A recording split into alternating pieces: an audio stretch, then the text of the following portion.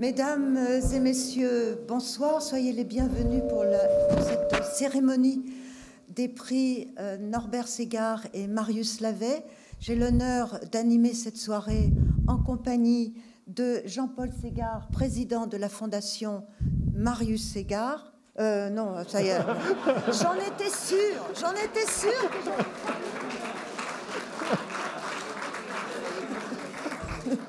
J'en étais sûre. Bon, c'est ça.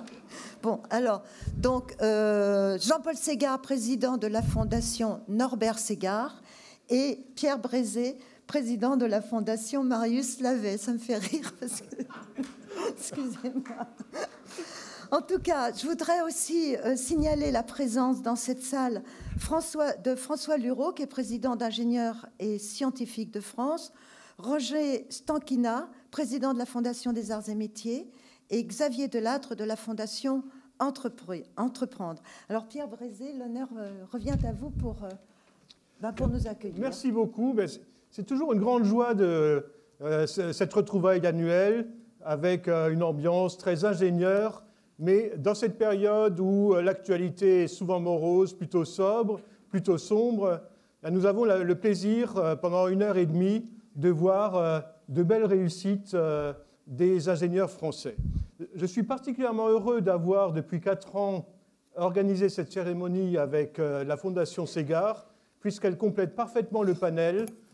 Le prix euh, Marius Lavé étant plutôt destiné à des vieux briscards, vous allez découvrir avec des parcours éblouissants, et le prix Ségard étant destiné plutôt à des ingénieurs en herbe qui sont plein de promesses, et la complémentarité des deux, je crois, est excellente pour montrer l'importance que l'ingénieur peut avoir dans notre société pour créer de l'innovation, de l'inventivité, de l'emploi euh, et des succès industriels. Euh, vous, serez certainement éblouis. Je voudrais dire un petit mot pour euh, saluer aussi la mémoire de Noël Claveloup, qui a été mon prédécesseur. Pendant six ans, il a présidé la Fondation Marius Lavé, également les ingénieurs et scientifiques de France. Il nous a quittés cette année et il a beaucoup œuvré pour euh, que nous soyons tous ici euh, réunis.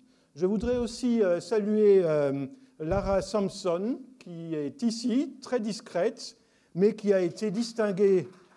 Voilà, elle mérite tous les applaudissements.